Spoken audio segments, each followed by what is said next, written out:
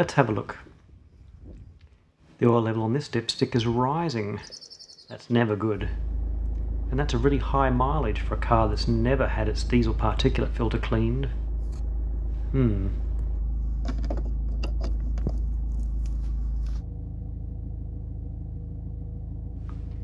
I forced a regeneration with the Autel AP200 diagnostic tool, which has burnt off all of the soot, but afterwards the DPF is still showing 76% full, which means only one thing, and that is that the diesel particulate filter is clogged up with lots of ash. So it's time for it to come out and be cleaned. This diesel particulate filter is manufactured as part of the exhaust, but the angle grinder soon sorts out that little issue.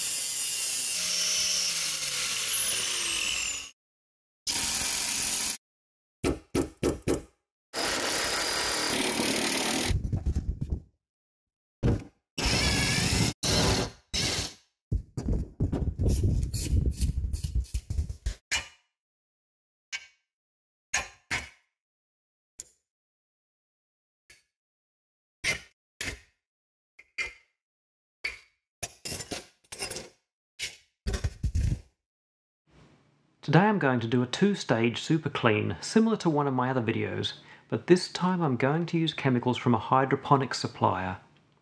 The first stage wash will remove any oily soot, and for that I'll be using the pH up or pH plus product, mixed with 3 or 4 parts water. For the second stage wash I'll be using undiluted pH down or pH minus product, and this brand contains 81% phosphoric acid. We have to use this undiluted because it is not as effective at ash removal when diluted. The benefit of using this kind of acid is that it shouldn't harm the steel or stainless steel that's used in this rusty old filter.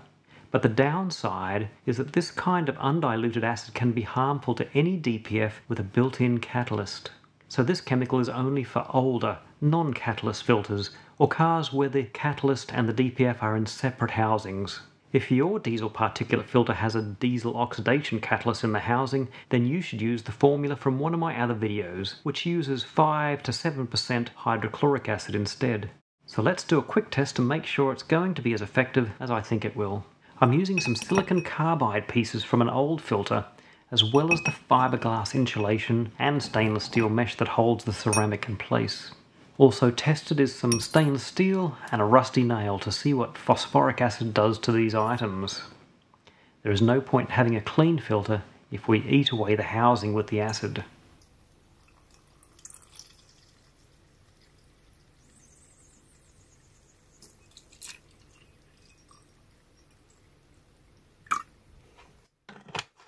Straight away you can see that the acid is starting to dissolve the ash deposits, which is what we want and nothing much is happening in the other glass, which is also what we want.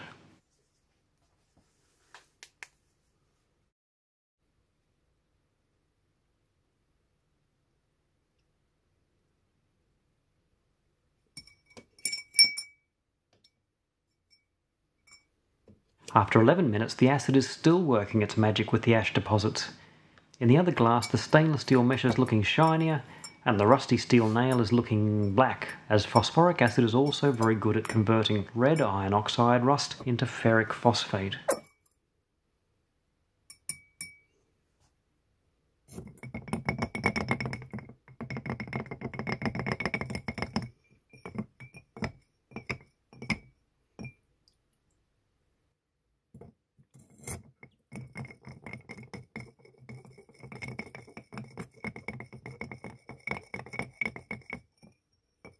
After 30 minutes, it's time to take everything out and give it a wash. The rusty steel nail is now black. The stainless steel mesh is clean and shiny. The stainless steel is unchanged. The fiberglass insulation is also unchanged.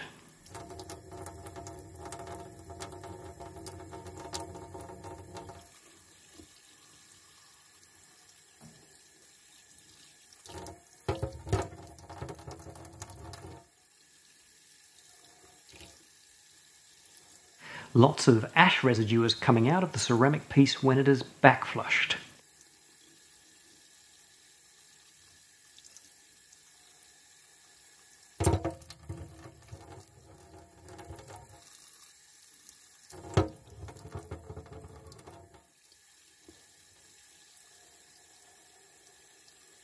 and you can also see some ash plugs have come out now that they have been loosened up by the acid.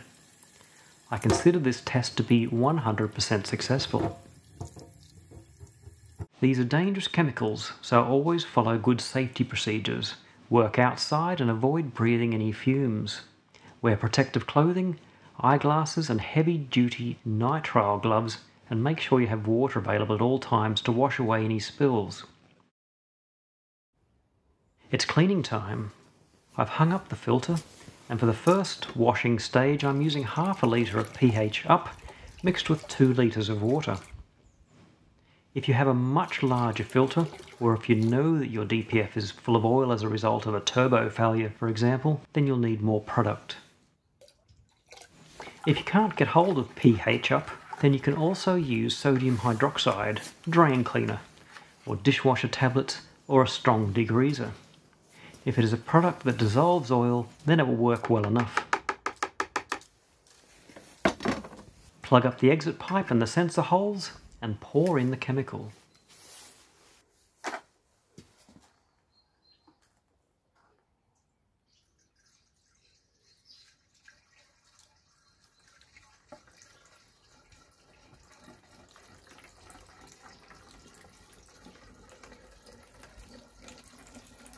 Once it is all full up, it can help to give it a shake if you want, and the absolute best way is to pour it out the way it came in. I'm not doing that because my plastic bung is leaking too much. 15 minutes is enough for this pre-cleaning stage if your filter is in good condition. If it is really oily and soot clogged, then this stage might take a few hours and require multiple applications of the chemical wash. So it's a matter of washing until no more black residue comes out.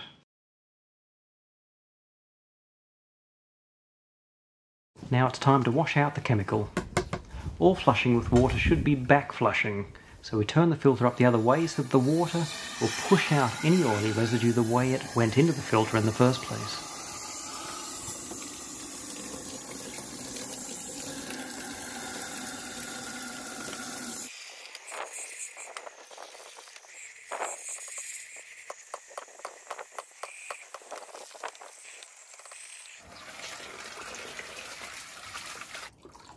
And now for the second stage, acid wash, using undiluted 81% phosphoric acid in the form of pH minus or pH down product. For this small filter I'm using 3 litres, but for a larger car I would recommend using 5 litres of the product. If you can't easily get hold of the pH down product where you live, then an alternative that can be used is brick cleaning acid, diluted with water down to around a 5% concentration.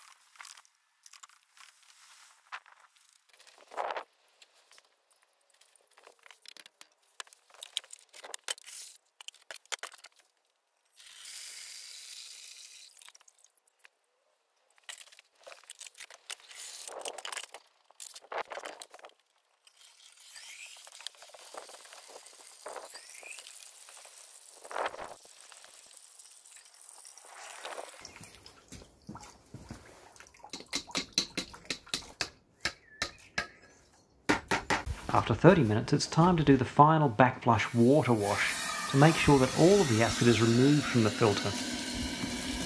Make sure to include all the pressure pipes and sensor connections.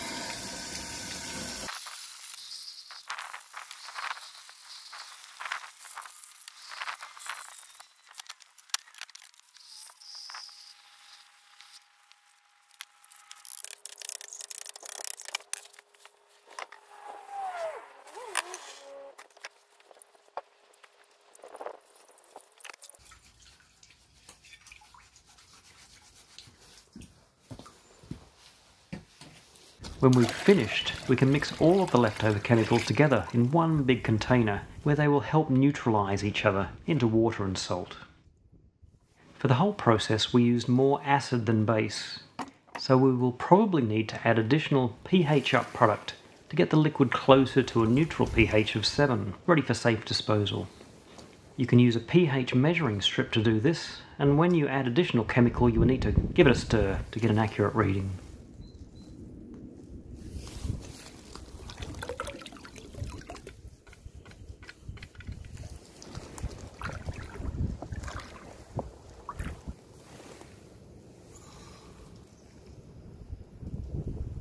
To dry out the filter I've hung it up overnight, as well as given it a bit of a blast with a heat gun to help things along.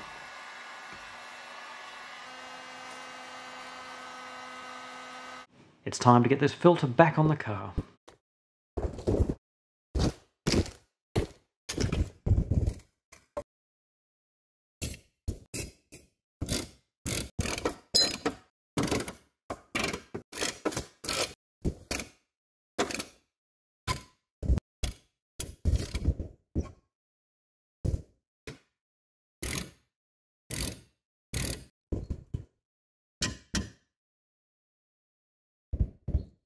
The last stage is to reset the diesel particulate filter adaptations using a good quality diagnostic tool like the Autel AP200.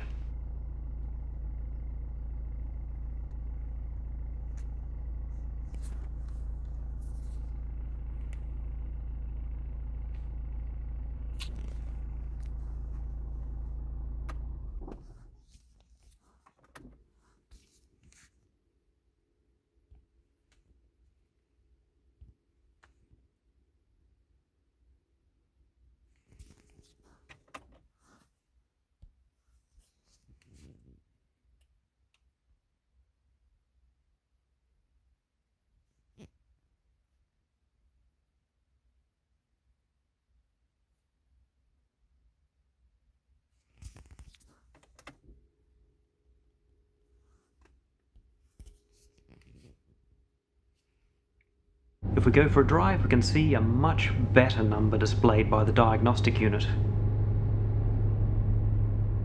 I consider this job to be 100% successful. If you like this video, then give it a like, share it with your friends, and hit that subscribe button down there. Till next time.